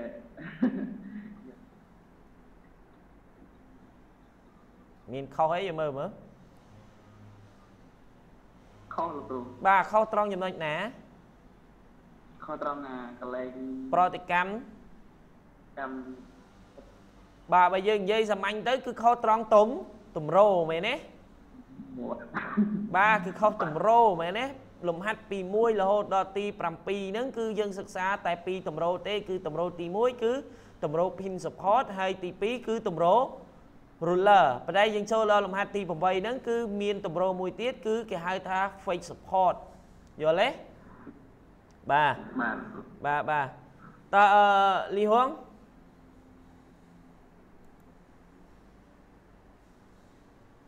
លីហួងអត់បានលោកគ្រូបាទលីហួងយើងមើលលំហាត់ទី8របស់យើងណាតម្រូវហ្នឹងជាប្រភេទតម្រូវអ្វីអត់តាមយល់តម្រូវហ្នឹងបណ្ដារូបភាពហ្នឹងអឺពីអឺលំហាត់មុនមុនអត់មានដូចទេយើងមើលមើលលំហាត់មុនមុនមានតម្រូវនេះយើងមើលតម្រូវរបស់យើងនេះគឺជាប្រភេទតម្រូវអីគេ បាទអញ្ចឹងគឺខុសលំហាត់ហ្នឹងខុសពីលំហាត់មុនមុនបាទប៉ុន្តែតម្រូវវាខុសគឺខុសត្រង់ទុំតម្រូវណាអញ្ចឹងតម្រូវនេះគឺជាប្រភេទតម្រូវ fix support អញ្ចឹងតម្រូវ fix support របស់យើងគឺកម្លាំងប្រតិកម្មរបស់តម្រូវរបស់យើងមានប្រមាណសួរសំអឿនវិញតើសំអឿន អត់លោកគ្រូបាទសំអឿនយើងមើលតម្រូវរបស់យើងជាតម្រូវប្រភេទអ្វីដែរដូចជាទំតម្រោអឺទីតម្រោបង្កប់លោកគ្រូបាទជាប្រភេទតម្រូវបង្កប់ណាអញ្ចឹងបើតម្រូវបង្កប់តើកម្លាំងប្រតិកម្មរបស់វាមានប្រមាណដែរកម្លាំងប្រតិកម្ម បើសិនជាតម្រូវ pin support គឺកម្លាំងប្រតិកម្មរបស់វាគឺមាន2មែនទេមានតាមទិសឈរហើយនិងទិសដេកចុះបើសិនជាគេ fix support តើវាមានកម្លាំងប្រតិកម្មមានចំនួនប្រមាណមាន3មែនទេយើងមើលរូបមាន3មែនទេបាទមានទាំងមុំមកលោកគ្រូបាទអញ្ចឹងគឺឲ្យតែមានឲ្យតែប្រភេទតម្រូវបង្កប់គឺ ប្រតិកម្មតាមទិសដេក ប្រតិកម្មតម្រូវតាមទិសឈរហើយនឹងមានកម្លាំងកម្លាំងកាច់ដែលយើងហៅថាម៉ូម៉ូម៉ង់យកបានអត់បាទបាទបាទបាទតោះអរគុណណា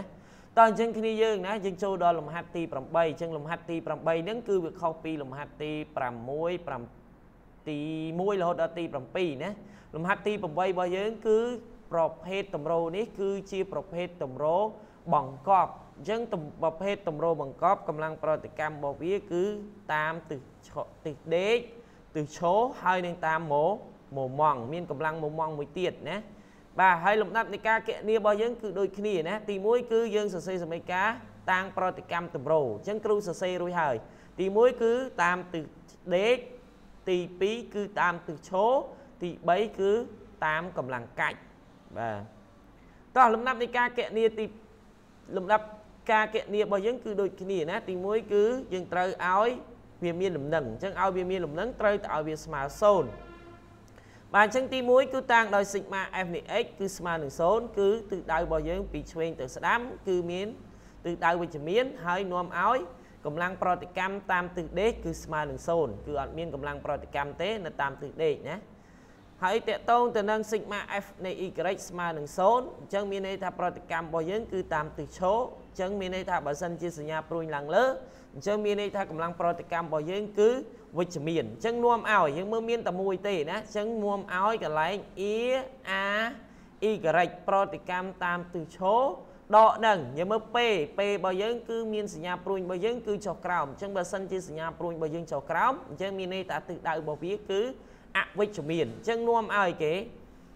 ដកដក p អញ្ចឹងយើងនាំឲ្យ e a y គឺស្មើនឹង p ដោយសារតែ p យើងនៅត្រង់នេះមានសញ្ញាអវិជ្ជមាននៅពេលដែលយើងបោះទៅអង្គទី2អញ្ចឹងមានន័យថាវាបដូរទៅជាវិជ្ជវិជ្ជមានអញ្ចឹងខ្ញុំតាំងដោយសមីការមួយបាទអញ្ចឹងយើងមើលមុំម៉ងណាអញ្ចឹងមុំម៉ងរបស់យើងខ្ញុំតាំងដោយ sigma ma ណាអញ្ចឹង ma គឺមានទិសដៅរបស់យើងគឺអីគេគឺ ស្របជាមួយនឹងតនិចនៃការមានទិសដៅបូកអញ្ចឹងខ្ញុំនាំឲ្យមូលហេតុអីយើងមើលគ្រូដាក់ដក ma ដោយសារតែវាផ្ទុយពីសញ្ញាព្រួយរបស់ខ្ញុំអញ្ចឹងសញ្ញាព្រួយរបស់ខ្ញុំគឺឯគេពីឆ្វេងមកមកស្ដាំអញ្ចឹងបើសិនជាពីឆ្វេងមកស្ដាំអញ្ចឹងមានន័យថា MA របស់យើងមានសញ្ញាសញ្ញាបូកប៉ុន្តែយើងមើល MA របស់គ្រូគឺគ្រូតាងដោយអឺផ្ទុយពីតនិចនីលកាអញ្ចឹងបើសិនជាវារត់ផ្ទុយពីតនិចនីលកាអញ្ចឹងមានន័យថាខ្ញុំដាក់ដក M MA បាទ ហើយពេរបស់យើងនេះអញ្ចឹងមានន័យពេបើសិនជាខាងក្រោមរបស់យើងនេះគឺវារត់ចុះមកក្រោមអញ្ចឹងគឺវាស្របជាមួយនឹងតនិចនីលកាវិញអញ្ចឹងទិសដៅពេរបស់យើងគឺគឺបូកបាទអញ្ចឹងគឺបូកនឹង p អញ្ចឹងគុណនឹងប្រវែងរបស់វានឹងគឺ l អញ្ចឹងគឺ p គុណនឹង l អញ្ចឹងនាំឲ្យគេ ma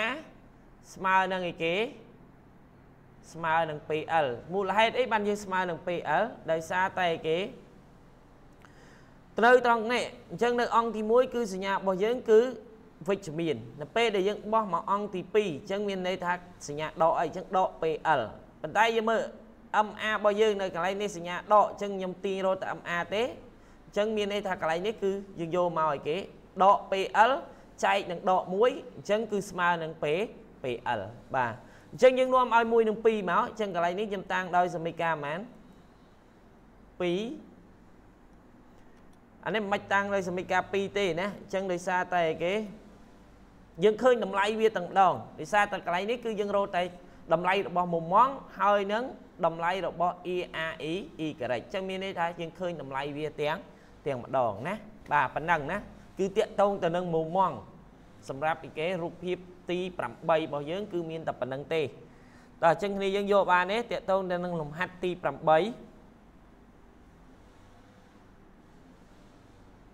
លំហាត់ទី8គឺយើងរោម៉ូម៉ង់បាទតោះលៀងចានមានអីចង់សួរខ្ញុំឆ្ងល់ត្រង់មុខមកគ្រូបាទមុំម៉ង់ណាមកឆ្ងល់ត្រង់ចំណុចណាខ្ញុំឆ្ងល់មិនក៏វាបានអឺ ដក MA ណាបូក P គុណ AN ណាគ្រូបាទ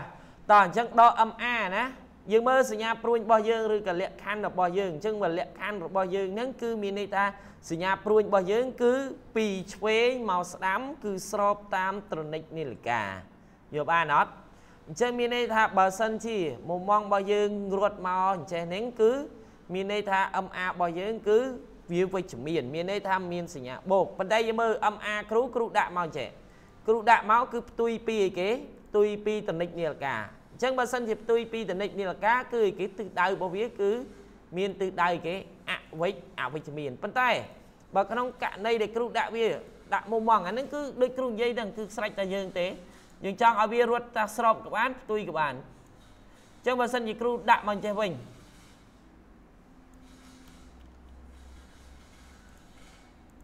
តោះចឹងគ្រូឲ្យរត់វាឲ្យវារត់ស្របតាមតនិចនីលកាវិញ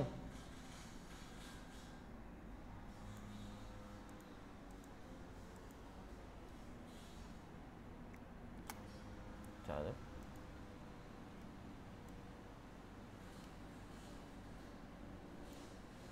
តោះអញ្ចឹងបើសិនជាគ្រូដាក់ឲ្យវាស្របតាមតនិចនីលកាចេះវិញអញ្ចឹងមានន័យថាវាមានទិសដៅគេវិជ្ជមានអញ្ចឹងដល់ពេលដែលយើងសរសេរមុំម៉ងគឺយើងដាក់អីគេ M MA MA ដកអីគេបើសិនជាពេលរបស់យើងនេះវារត់មកចេះវិញគឺអីគេវាស្របដែរអញ្ចឹងមានន័យថាអីគេវាវាបូកឬក៏អីគេដកដកពេលណាអញ្ចឹងដល់ពេលដែលយើងទាញមកគឺស្មើដូចដូចគ្នាអញ្ចឹងយកបានទេអឺលៀងច័ន្ទអឺ មុំងនេះគឺស្រេចតែយើងអ្នកកំណត់ទេតែយើងចង់ឲ្យវាគេស្របទៅនឹងតនិចនាឡិកាឬក៏ផ្ទុយពីត្រនិចនាឡិកាបើសិនជាយើងស្របគឺវិជ្ជមានបើសិនជាគេផ្ទុយគឺអវិជ្ជអវិជ្ជមានយកបានហើយបើសិនជាយើងដាក់មកអញ្ចេះវិញអញ្ចឹងមានន័យថា MA របស់យើងគឺមានសញ្ញាអីគេសញ្ញាអវិជ្ជអវិជ្ជមានយកបានអត់ប៉ុណ្ណឹងលីងសាន បាទគ្រូបាទអាហ្នឹងគឺយើងអ្នកកំណត់ណាបើសិនយើងចង់ដាក់វាស្របក៏បានដាក់វាផ្ទុយក៏បានដែរយល់អត់លំហាត់របស់យើងប៉ុណ្ណឹងតូចតូចបើសិនគ្រូដាក់ចេះក៏បានដែរដាក់ចេះគ្រូដាក់អីគេ M MA ពួកវារត់អីគេស្របទៅតាមអ្នកទិសដៅរបស់យើងដែលយើងបានកំកំណត់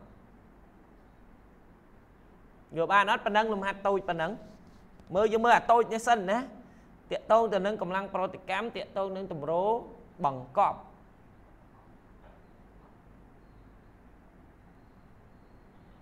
បាទលោកគ្រូចាំមើលទៅមួយទៀតបាទអេតមុខទៀតការរត់តែយ៉ាប់ទៀតហើយអាលក្ខណៈអាតិចតិចអញ្ចឹងយើងព្យាយាមមើលបន្តិចបន្តិចណាអញ្ចឹងកន្លែងនេះគឺយើងរោតែគេកម្លាំងប្រតិកម្មតម្រូវកន្លែង ARE ការ៉េចទេយល់ទេហើយនឹងមុំម៉ងដល់ពេល ARX ហ្នឹងគឺយើងដឹងតែសូនហើយព្រោះអីគេ កម្លាំងប្រតិកម្មតាមទិសដេករបស់យើងគឺអត់មានធ្វើអំពើនៅលើរបារបស់យើងទេតោះអញ្ចឹងអ្នកផ្សេងទៀតមានអីឆ្ងល់អត់តើជីគួងមានអីឆ្ងល់ទេជីគួងអត់មានទេលោកគ្រូប៉ុន្តែយល់បាននៅបាទបាទតើអឺសំបិនសំបិនមិនហើយសំបិនថ្ងៃនេះអាចយល់បានទេយល់បានយកមានន័យចេះហើយណាបាទអាច អាចធ្វើបានណាបាទលោកគ្រូអាកន្លែងសញ្ញាអឹបអានយើងយើងកំណត់ខ្លួនឯងធ្វើមិនដើម្បីកំណត់ថាវាវាមិនចង់និយាយថាយើងកំណត់ថាយើងចង់ថាវាវិលយ៉ាងម៉េចណាកម្លាំងប្រតិកម្មរបស់យើងគឺយើងដឹងថាមាន3ណាបើសិនតែសម្រាប់តម្រូបងបង្កប់យល់ទេយើងមើលចង់និយាយថាកន្លែងនេះយើងចង់កំណត់មិនក៏កំណត់ទៅណាសញ្ញាព្រួញរបស់យើងនេះឧទាហរណ៍ដូច E A E correct នេះបើសិនជាគ្រូយកសញ្ញាព្រួញចុះក្រោមក៏បានដែរ យល់អត់បើសិនជាសញ្ញាព្រួញចុះក្រោមវាផ្ទុយពីគេកោការរបស់យើងនេះដែលយើងដាក់នេះអញ្ចឹងមានន័យថាបើសិនជាតម្លៃរបស់សញ្ញាព្រួញចុះក្រោមគឺគេអវិជ្ជអវិជ្ជមានមុំមងរបស់យើងក៏ដូចគ្នាដែរយើងចង់ឲ្យវាវិលទៅគេស្របនឹងតនិចនាឡិកាគឺ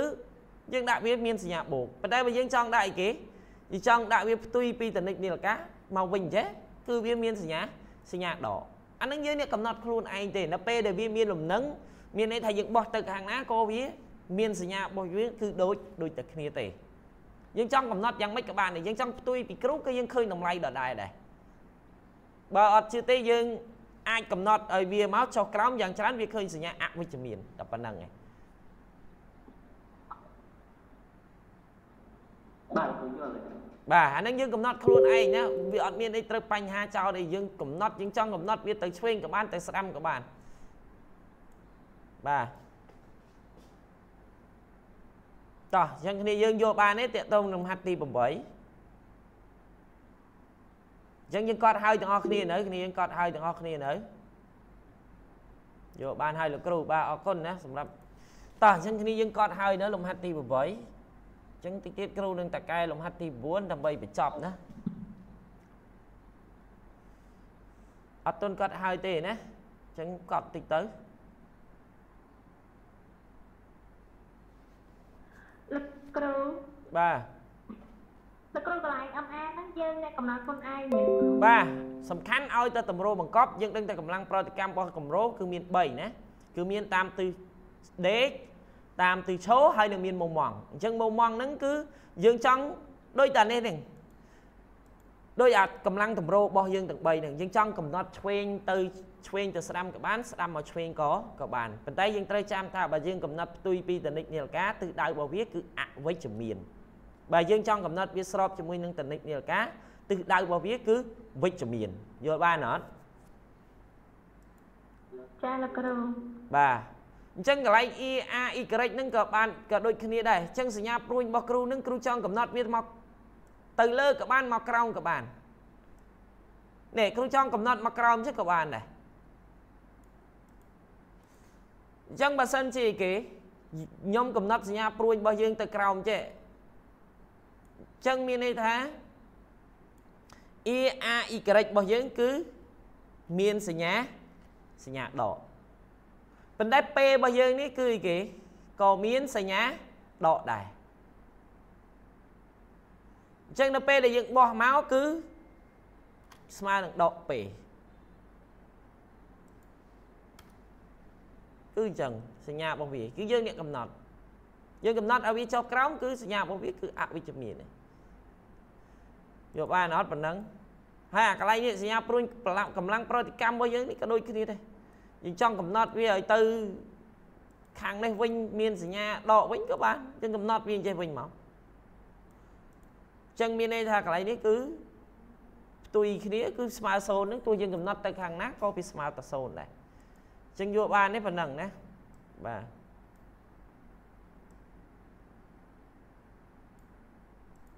ប៉ុន្តែចនិច្ចកាលគេកំណត់វាឡើងលើហើយឲ្យវាមានសញ្ញាវិជ្ជមានណាបាទចានេះគឺស្មើនឹងពេណា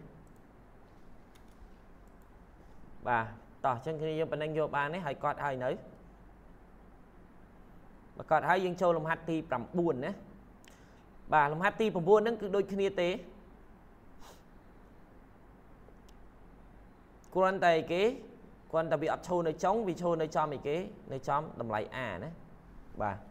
តោះអញ្ចឹងគឺលំហាត់ទី9របស់យើង គឺតកតងទៅនឹងមុំម៉ងណាអញ្ចឹងតម្រូរបស់យើងជាប្រភេទតម្រូបង្កប់អញ្ចឹងឲ្យតែតម្រូបង្កប់គឺប្រភេទតម្រូរបស់យើងមាន ប្រតិកម្មចំនួន3ទី1តាមទិសឈរទី2តាមទិសដេកហើយទី3តាមកម្លាំងម៉ូមុំម៉ង បាទអញ្ចឹងយើងកណនាមកគឺដូចគ្នាណាអញ្ចឹង sigma f នៃ x ស្មើ0អញ្ចឹងយើងមើលប្រតិកម្មតាមទិសដេកអញ្ចឹងគឺវាអត់មានកម្លាំងអីធ្វើអំពើនៅលើរបារបស់យើងទេអញ្ចឹងគឺស្មើនឹង0បាទដល់ពេលតែអីគេកម្លាំងប្រតិកម្មតាមទិសឈរអញ្ចឹងខ្ញុំតាំងដោយ sigma f y ស្មើ0សញ្ញាព្រួយរបស់យើងឡើងលើគឺមានទិសដៅវិជ្ជមានអញ្ចឹងនាំឲ្យ EA y របស់យើងដកនឹង P ស្មើនឹង0អញ្ចឹងនាំឲ្យ EA y គឺស្មើនឹង ស្មើនឹង P ប៉ុណ្ណឹងតោះអញ្ចឹងជាមើលតាក់ទងនឹងតម្លៃមុំម៉ងរបស់យើងគឺដូចគ្នាដែរអញ្ចឹង sigma MA ស្មើនឹង0អញ្ចឹងបើសិនជារត់ពីឆ្វេងមកស្ដាំស្របតាមតនិចនីលកាអញ្ចឹងទិសដៅរបស់យើងគឺវិជ្ជមានអញ្ចឹងនាំឲ្យយើងមើលសញ្ញាព្រួយនៃគ្រូតាំងហ្នឹងគឺមានន័យថាប្រច្រាស់ពីតនិចនីលកាអញ្ចឹងបើសិនជាប្រច្រាស់ពីតនិចនីលកាអញ្ចឹងមានន័យថាសញ្ញារបស់វាគឺអវិជ្ជមានអញ្ចឹងបើសិនជាអវិជ្ជមានគ្រូតាំងដោយគេដក MA ហើយបូកអញ្ចឹងពេលហ្នឹងគឺឯគេស្របជាមួយនឹងតនិចនីលកាអញ្ចឹងគឺខ្ញុំតាំងដោយគេបូកទិសដៅវិជ្ជមានអញ្ចឹងស្មើនឹង P ហើយគុណនឹងប្រវែងប្រវែង A ហើយស្មើនឹង0អញ្ចឹងនាំឲ្យ MA គឺស្មើនឹង P គុណនឹង A បាទអញ្ចឹងប្រវែងប៉ុណ្ណឹងណាតោះអញ្ចឹងលំហាត់ទី9ដូចលំហាត់ទី8ដែរយល់បានឬក៏ក៏អត់ម៉ៅយល់បាននៅម៉ៅ បានខ្លះខ្លះលោកគ្រូបាទទី8ទី9គឺស្តៀងគ្នាទេណាបាទបាទតោះសំបិនយល់បាននៅសំបិនយល់បានបាទចិនថាយល់បានណាលោកគ្រូបាទតោះសុភ័ក្រសុភ័ក្រយល់បានទេសុភ័ក្រតោះជីកុងយល់បានទេជីគួងទៅទៅជីកុង យល់បានខ្លះហើយលោកគ្រូបាទតើហ៊ុយយល់បានទេយល់ហ៊ុយយល់បានហើយលោកគ្រូបាទតោះលៀងចានមែនលៀងចានពីលំហាត់ហ្នឹងប្រហែលជាយល់លោកគ្រូបាទកុំប្រហែលជាយល់ណាព្យាយាមយល់បន្ថែមអរគុណណាបាទតើឆៃឡុតយល់បានទេឆៃឡុតបានគ្រូតើលីហួងបាទលោកគ្រូតើលូមៀន បានផ្លាត់ឡាលីនឡាមីនឡាមីនយកបាននៅឡាមីនតោះណៃឈួងយកបានទេណៃឈួង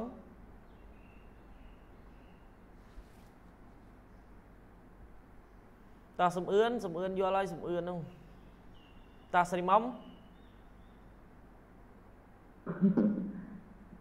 តោះស្រីមុំតសៃមុំ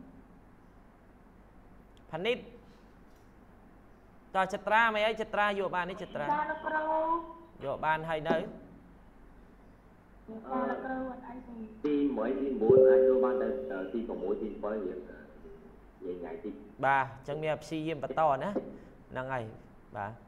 តសវណ្ណាសវណ្ណាយកបាននៅសវណ្ណា យល់ហើយណាបានខ្លះខ្លះហើយលោកគ្រូបាទតើសុកហៀងយល់បានថាលោកគ្រូតែរៀងនៅចិត្តទីផលអត់ទៅទេបាទអញ្ចឹងមានន័យថាធ្វើលំហាត់ទៀតទៅប្រហែលជាអាចប្រគ្រប់ហើយណាអញ្ចឹងមានតែព្យាយាមបន្ថែមតើលីនីចាលោកគ្រូយល់ហើយបាទតើតុងតុងហួត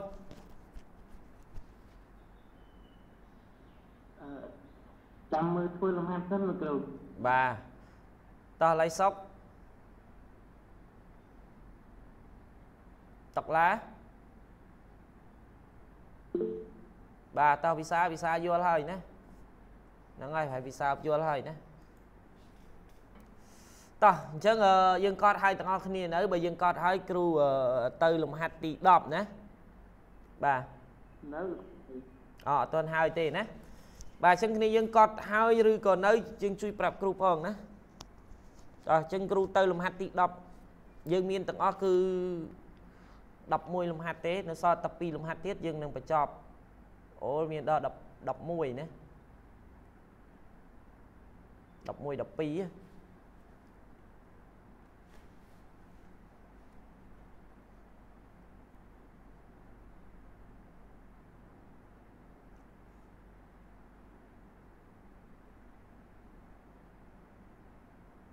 លោកគ្រូបាទខ្ញុំឆ្លើយដល់ត្រង់ទេលោកគ្រូអត្រង់មុំមកលោកគ្រូមិនអត្រង់ពេលហ្នឹងមិនបានបូកលោកគ្រូពេលហ្នឹងគឺអីគេបើសិនជាវារត់ចុះក្រោមហ្នឹងមានន័យថាវារត់ស្របជាមួយនឹងតនិចនានាលិកាណាបាទលោកគ្រូបាទអញ្ចឹងបើសិនជាឡើងលើរបស់យើងគឺអីគេបើដោយសារតែមុំមកគ្រូគ្រូឲ្យវាផ្ទុយណាអញ្ចឹងបើសិនជាគ្រូឲ្យវាមកខាងនេះវិញអញ្ចឹងមានន័យថាពេលរបស់យើងគឺមានសញ្ញា ដកវិញនិយាយរត់មិនចេះបាទនិយាយទៅឲ្យវាបើសិនជាមុំម៉ងរបស់យើងយើងឲ្យវាបោកពេលរបស់យើងគឺដកវាផ្ទុយគ្នាណា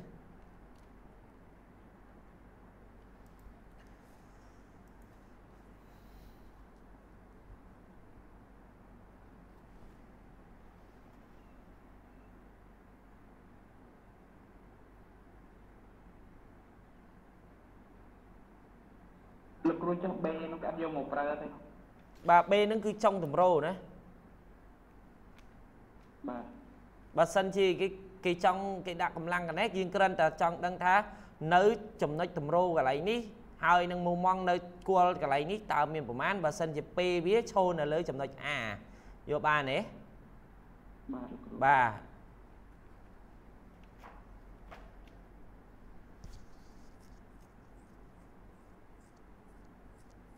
ចុះអញ្ចឹងគ្នាយើងកត់ឲ្យទាំងអស់គ្នានៅ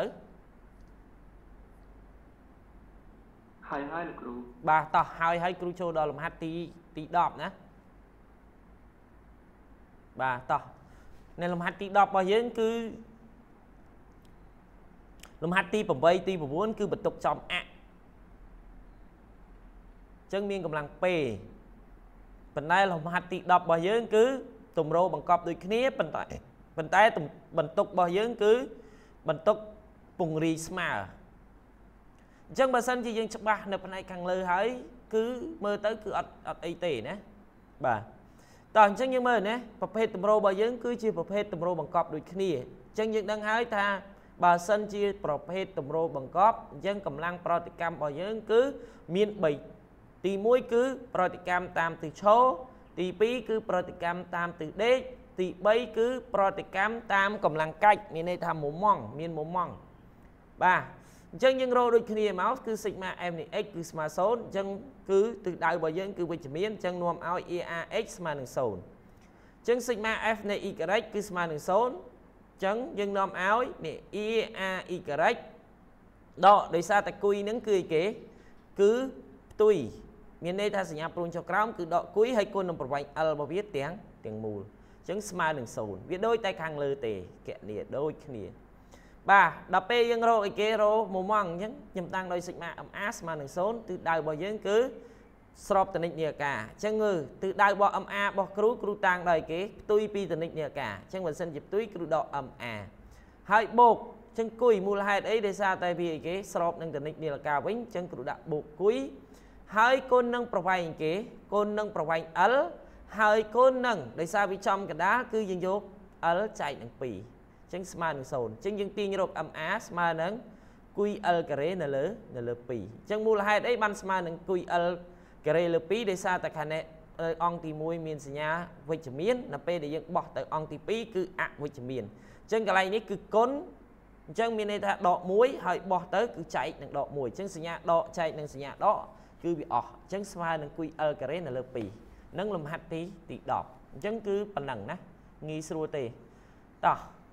អញ្ចឹងគ្នាយើងយកបានទេយើងមើលទៅគឺដូចតែលំហាត់មុនមុនទេណាគ្រាន់តែខុសនឹងអីគេយើងរក MA រកមុំម៉ង់ប៉ុន្តែលើកមុនគឺយើងរកអីគេរកតម្រោគួលតម្រោហើយនឹងចុងតម្រោឲ្យតែខុសអីគេខុសកម្លាំងឬក៏ខុសប្រភេទតម្រោគ្នាគឺយើងរកខុសគ្នាដែរណា តោះអញ្ចឹងគ្នាយើងយល់បានទេយើងមើលទៅហើយយើងកត់តិចមកហើយបើសិនជាអត់យល់ទេយើងអាចសួរគ្រូបានណាលោកគ្រូកន្លែងយកកន្លែង MA មកលងទៀតលោកគ្រូ MA ណាបាទអញ្ចឹង MA របស់យើងខ្ញុំតាំងដោយគេផ្ទុយពីតនិចនាឡិកាអញ្ចឹងបើសិនជាផ្ទុយពីតនិចនាឡិកាអញ្ចឹងមានទិសដៅគេ មានទិសដៅអវិជ្ជមានអញ្ចឹងបើសិនជាទិសដៅអវិជ្ជមានអញ្ចឹងខ្ញុំដាក់ដក MA បន្ទាប់មកគុយគុយហ្នឹងគឺវារត់ស្របទៅនឹងតនិចនាឡិកាអញ្ចឹងបើសិនជាគុយរបស់យើងរត់ស្របនឹងតនិចនាឡិកាអញ្ចឹងគឺស្មើនឹងគុយហើយគុណនឹងប្រវែងរបស់វាណាអញ្ចឹងប្រវែងដៃគ្នារបស់វាគឺគុណនឹងប្រវែង L ទាំងអស់បាទបន្ទាប់មកឲ្យតែមានបន្ទុកបរិស្មើអញ្ចឹងយើងគុណនឹងអីគេគុណនឹង L នៅលើនៅលើ2អញ្ចឹងស្មើនឹងស្មើនឹង0ណាអញ្ចឹងយើងនាំឲ្យ MA មកគឺស្មើនឹងអីគេ ស្មើនឹងដកគុយ L ការ៉េនៅលើ2ប៉ុន្តែកន្លែងនេះដកនៅពេលដែលខ្ញុំបោះទៅអស់មកខាងទៀតគឺគឺបូកអញ្ចឹងស្មើនឹងអីគេគុយ L ការ៉េនៅលើនៅលើ2ប៉ុណ្ណឹងណាតើអញ្ចឹងគ្នាយើងយកបាននៅប៉ុណ្ណឹងលោកគ្រូខ្ញុំសួរបាទអឺបើសិនមកបើសិនមកឲ្យតែមានថាអាចจะមានបន្ទុកបន្ទុកបង្រីស្មើគឺយើងទៅគឺត្រូវតែមាន គុណ L 2រហូតទេបាទបាទឲ្យតែបន្ទុកពរីស្មើគឺគុណនឹង L នៅលើ2ប៉ុន្តែបើសិនជាបន្ទុកពរីមិនស្មើទេវាអាចគុណនឹង1លើ 3L ឬក៏2នៅលើ 3L យល់បានទេបាទអានេះគឺសិតតែរូបមន្តទេនៅពេលដូចគ្រូនិយាយចឹងបើសិនជាយើងឃើញរូបរបស់យើងដូចមួយមួយមួយមួយដែលគ្រូបានឧទាហរណ៍ពី1រហូតដល់ទី12ហ្នឹងយើងយកតែរូបមន្តហ្នឹងយកមកប្រើហើយយើងគ្រាន់តែចំនួនត្រង់ប្រវែង ត្រង់ឯគេត្រង់បន្ទុកទេហើយសញ្ញារបស់យើងបើយើងដាក់តែឯគេដូចតែរូបគ្រូដែលលោកគ្រូដានផ្ដល់ឲ្យហ្នឹងគឺអត់មានអីត្រូវប្របាក់ទេណាគឺមានតែប៉ុណ្្នឹងទេតោះអញ្ចឹងគ្នាយើងមានអីឆ្ងល់ទៀតទេអញ្ចឹងយើងនៅសល់តែ2ទៀតទេអញ្ចឹងលំហាត់ទី11ដល់12ណាតោះអញ្ចឹងលំហាត់នេះគាត់ឲ្យទាំងអស់គ្នានៅ